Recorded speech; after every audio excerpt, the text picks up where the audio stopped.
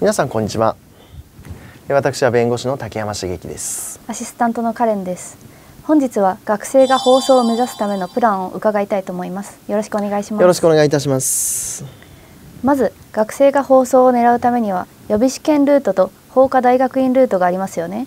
どういうことでしょうか？現在司法試験を受験するためには受験資格が必要です。受験資格を得るための方法の一つが予備試験に合格する方法。これには年齢制限等はありません。もう一つが法科大学院を修了する方法です。法科大学院は大学院なので原則として大学を卒業してから進学することになります。どちらのコースがいいんですか？これは一長一短です。予備試験ルートは法科大学院に行く時間とお金を節約できます。えー、まあ法科大学院の教育が無駄とは言いませんが、えー、お金と時間の節約になるのは事実ですただ予備試験は難易度が高く正直法科大学院への進学の方が簡単ではあります。ではそのあたりを踏まえて学生はどちらのルートから進むかを考えればいいんでしょうか？いえ違います。あの学生におすすめなのは両に並みです。両方狙えるんですか？はい。えー、予備試験のための勉強も法科大学院奇襲者試験のための勉強もほとんど同じ内容だからです。なんなら公務員も狙えちゃいます。公務員もなんですか？公務員との両睨みについては別動画で解説しています。また法科大学院は、えー、放送コースから行くという道もあって、えー、学部3年で飛び級のような形で法科大学院に進むことができます。えー、ただし一定の法学部にしか設置がありません。それだとトータル5年で卒業なんで1年節約できますね。そうです。ですので、まあ、法科大学に行くお金の余裕ももちろん大事なんですけどそれがあるなら予備試験と放送コースを両にらみしていくのがこれから一般的になっていくでしょ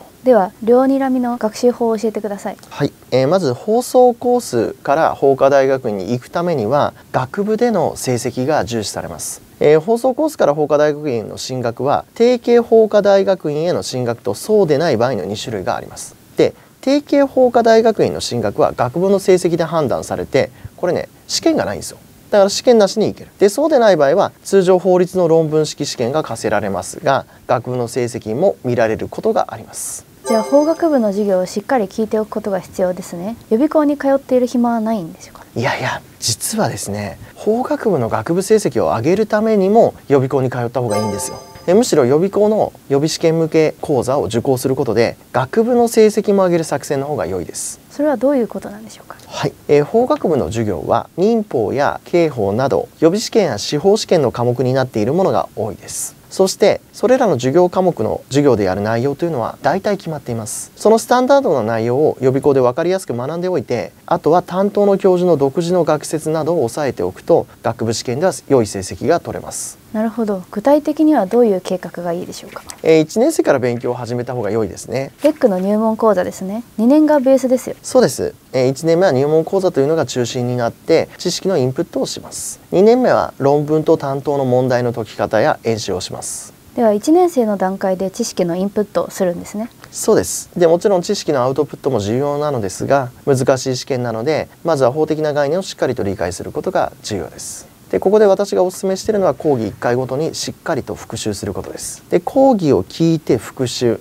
のサイクルを回すことでかなり力がつきます。であと講義によっては論文のパーツとなる論書を紹介されることもあるんですがそれもある程度書けるようにする必要があります。予備試験もあわよくば受験したいという方だったらここに担当の問題演習を自分で組み込むとさらに力がつきます。これって大学生活潰れちゃいませんか？はいそういう心配ありますよねレックの講義は週23回なので大学生活との両立は十分に可能です。また講義を休んでしまった場合でもウェブフォローがつくので、えー、ウェブで見ることができます。大学2年生から始める場合はどうですか、えー、若干のアレンジは必要になりますが2年コースというコースじゃなくても、えー、入門講座は取ることができます。で入門講座の知識のインプットができれば、えー、学部成績も上がるし論文を書く基礎力もつきます。で法科大学院の奇襲者コースを目指す場合試験は法律の論文試験になります、え入門講座を取った上で論文の書き方を学び演習をしていけば合格できます。2年生以降で勉強を始める場合は個人差が大きそうですね。そうですね、